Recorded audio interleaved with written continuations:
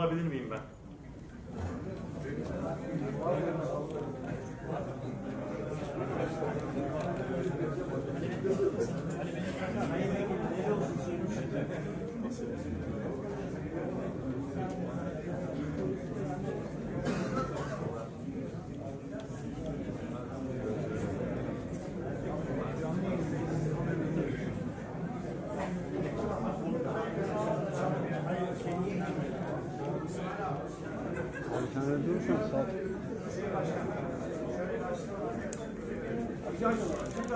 Saygıdeğer misafirler, değerli başkanlarım, hocalarım, büyüklerim, hanımefendiler, beyefendiler, güzide basın mensupları, hepinizi saygıyla selamlıyorum. Hoş geldiniz, sefalar getirdiniz.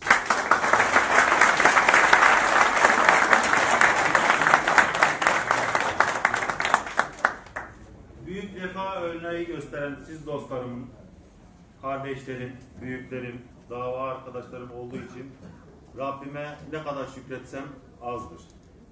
Rabbim kardeşliğimizi, dostluğumuzu daim etsin. Yolumuz, bahtımız açık olsun.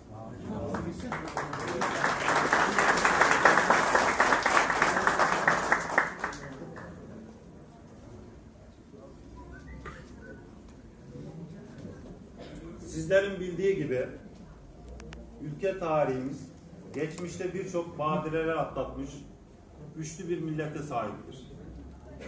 Sadece son 15 yılda yaşadığımız y- 27 Nisan E-Muhtırası, 367 uydurması, Gezi Parkı, 17-25 Aralık kumpas davaları, çukur siyaseti ve şeytanlıkta sınır tanımayan, ülke tarihinin böylesine şahit olmadığı 15 Temmuz darbeci FETÖ girişimiyle vatan hainliğinin, satılmışlığın, şerefsizliğin ön planda olduğu dönemleri hep beraber yaşadık. Ülkemiz tüm bunlardan başta Sayın Cumhurbaşkanım ve Sayın Başbakanımızın kararlı ve dik duruşuyla aziz ve necip milletimizin ve Eskişehir'imizin ülkesine, demokrasiye ve Cumhurbaşkanına Cumhurbaşkanımıza sahip çıktığına şahitlik ettik. Yüce milletimiz ferasetiyle bu badirelerin üstesinden gelmiştir. Ancak hainler boş durmuyor, durmayacaktır. Satılmış hain terör üyelerinin sayısını biz bile hatırlayamaz olduk. Bunun için güçlü hükümetlere ve istikrarlı yönetimlere ihtiyaç vardır. Değerli misafirler, işte bu mihvalde önümüzdeki bu seçimler Cumhuriyet tarihinin dönüm noktalarından biridir.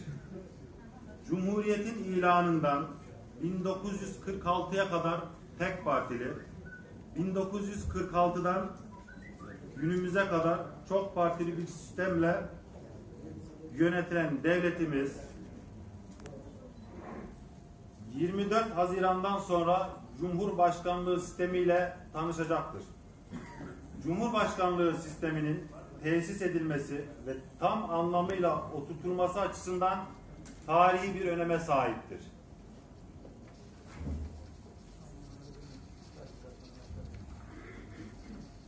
Aziz milletimiz, ülkemizin ayaklarındaki prangaları söküp atmak, ülkemizi yeniden ayağa kaldırmak, kim gelirse gelsin yıkılmayacak bir sistemi tesis etmek ve bu büyük reformları gerçekleştirecek hamleyi yapmak için sandık başına gidecektir.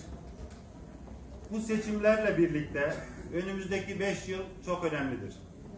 10 yıllık, 20 yıllık hatta 100 yıllık bir hazırlığın dönüm noktası olacaktır. Ülkemiz kendi öz varlığı ve milli gücüyle dünya devleti olmaya hazırlanmakta olan bir devlettir. Bu seçim ülkemizin dünyadaki yerini belirleme mücadelesi ve yarışı olacaktır. Ya eski Türkiye gibi olup bize biçilen rolü oynayacak, istedikleri gibi müdahale edip iki ileri bir geri gideceğiz.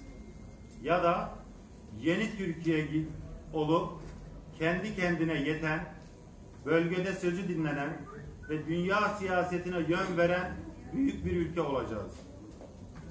Bunun kararını verecek olan siz kıymetli, vatansever, dava sahiplerimiz olacaktır. Değerli misafirler, saygılı basın mensupları. Ben kendi ikbalim ve şahsi çıkarım için hiçbir zaman siyaset yapmadım. Makam ve koltuk sevdasında da olmadım.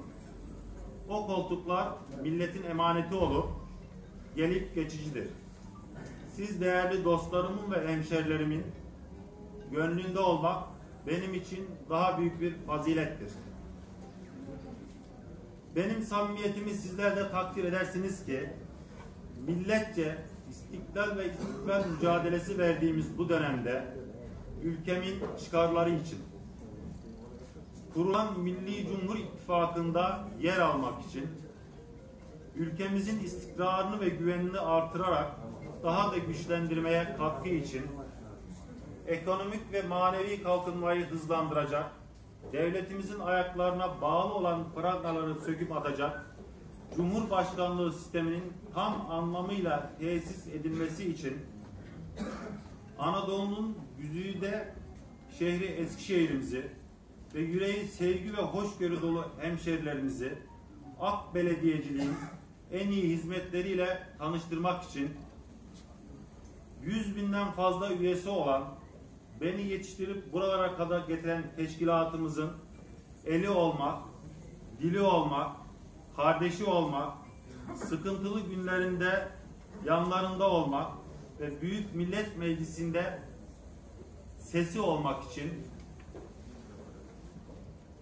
Büyük Türkiye'de önce yeni şehir, yeni Türkiye'de önce yeni Eskişehir olmak için sadece bir dünya lideri değil, mağdur, mazlum ve ümmetin umudunu bağladığı, zat-ı alilerine gece gündüz duaların edildiği Sayın Cumhurbaşkanımızın ve Genel Başkanımızın yol arkadaşlığında daha yakınında olmak ve bu dualardan bir nebze de nasiplenmek için üyesi olmaktan eşsiz ve sonsuz onur duyduğum partim olan AK Parti'den milletvekili aday adayı oldum.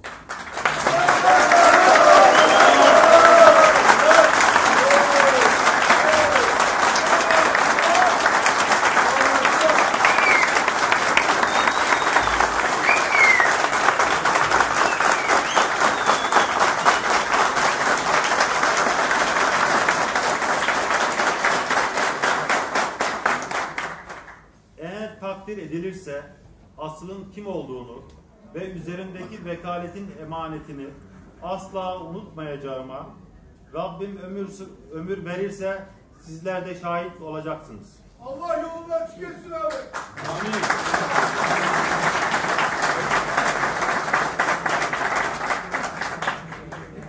Değerli misafirler, güzide basın mensupları, kıymetli vaktinizi ayırıp beni bu yolda desteklediğiniz için hepinize ayrı ayrı şükranlarımı arz ediyorum. Bu mübarek günde hepinizi ilk yaratılan son sultanın şefaatine nail olmanızı diliyor. Berat kandilinde Rabbimden beratınızı niyaz ediyorum.